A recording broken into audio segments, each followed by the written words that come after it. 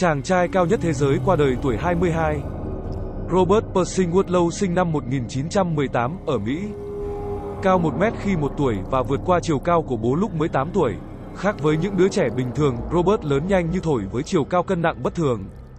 Năm 13 tuổi, Robert ghi tên mình trong sách kỷ lục Guinness, trở thành người đàn ông cao nhất thế giới với chiều cao 2m23.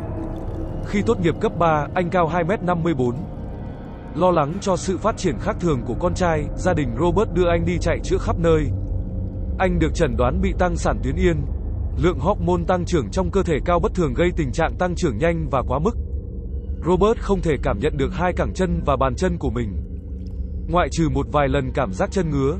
Khi qua đời, một số bộ phận cơ thể Robert vẫn tiếp tục tăng sinh và không có dấu hiệu dừng lại.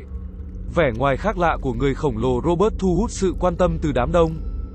Năm 1938, Robert được công ty International Su phát hiện và mời tham gia quảng bá giày. Robert đồng ý, trở thành gương mặt thương hiệu của nhãn hàng và được tặng tất cả đôi giày cỡ 37AA thiết kế dành riêng cho anh. Ngoài thời gian đi lưu diễn cùng gánh xiếc hay quảng cáo giày, chàng trai cao nhất thế giới sống giản dị, ít ồn ào. Anh thích chơi đàn guitar, đi đây đó chụp ảnh. Là con cả, Robert luôn chơi đùa, nhường nhịn cùng các em làm việc nhà. Cuộc sống của một người khổng lồ có nhiều bất tiện. Nhà ở, các điểm công cộng, đồ dùng hàng ngày đều quá nhỏ với Robert.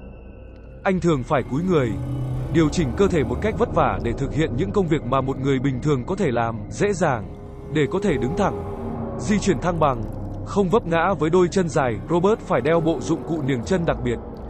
Do không có cảm giác gì ở đôi chân, Robert không cảm nhận được dụng cụ niềng chân liên tục ghi sát vào mắt cá chân của mình. Năm 1940, một vết phồng rộp ở mắt cá chân bị nhiễm trùng, anh được đưa vào viện cấp cứu và phải truyền máu. Không may, nhiễm trùng đã cướp đi sinh mạng của chàng trai. Ngày 15 tháng 7 năm 1940, Robert Woodlow qua đời ở tuổi 22 trong giấc ngủ. 18 ngày trước đó, anh được đo chiều cao 2m72 và cân nặng 199kg.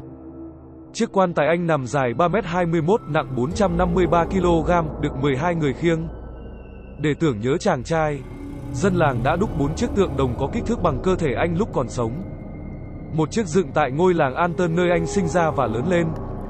Ba chiếc còn lại được trưng bày tại ba bảo tàng Guinness xung quanh Bắc Mỹ. Một số tượng sáp của anh cũng trưng bày tại bảo tàng Ripley Believe It or Not với nhiều hình dáng. Như nằm trong quan tài lớn, hay đứng trên đám đông hỗn loạn.